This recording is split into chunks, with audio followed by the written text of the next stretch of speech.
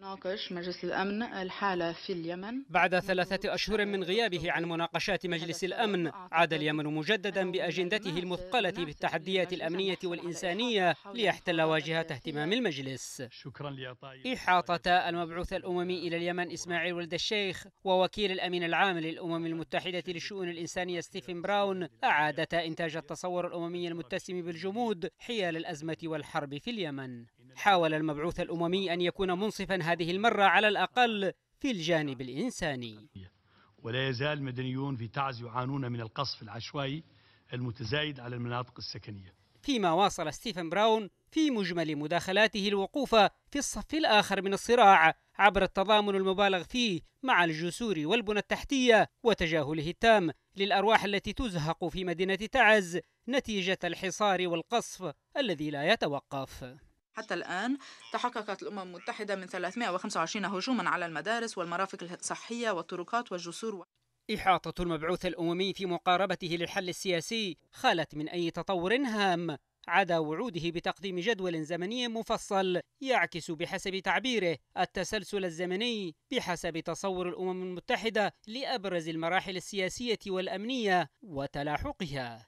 وسوف أقدم للأطراف جدولا مفصلا يعكس التسلسل الزمني بحسب تصورنا لأبرز المراحل السياسية والأمنية وتلاحقها وأدعوهم إلى التحلي بالحكمة السياسية والمسؤولية الوطنية حتى نحقق التقدم الضروري بهذا الملف. وزع المبعوث الأممي انتقاداته بالتساوي على الانقلابيين والحكومة الشرعية حينما أكد أن قرار إنشاء حكومة موازية في صنعاء يضع عراقيل إضافية لمسار السلام ويؤثر سلبا على عامل الثقة بين الأطراف تماما كما هو انتقاد الرئيس هادي المتواصل للمقترحات الأممية من دون القبول بمناقشاتها لتعديل بنودها بحسب تعبيره. المندوب الدائم لليمن لدى الأمم المتحدة السفير خالد اليماني قدم مرافعة موضوعية رد فيها على التركيز المبالغ فيه على الأوضاع الإنسانية في مناطق سيطرة الإنقلابيين. كثر الحديث عن المعاناة الإنسانية في مناطق سيطرة القوى الإنقلابية. ومع الأسف لا يتم الحديث عن ما يجري في تعز من مجازر. ونحن استمعنا إلى إلى الملخص كله يتلخص عن مناطق سيطرة الإنقلابيين. ونحن نؤكد أن الطرف الإنقلابي يمارس سياسة العقاب الجماعي ضد أبناء شعبنا في المناطق التي يسيطر عليها.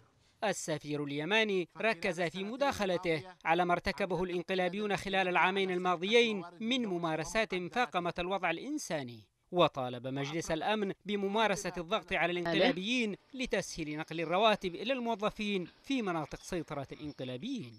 على المستوى السياسي. أعاد السفير اليماني التأكيد على أن الحل يكمن في المرجعيات التي حكمت الانتقال السياسي السلمي في البلاد. أن الحل يكمن في المرجعيات التي حكمت الانتقال السياسي السلمي في اليمن.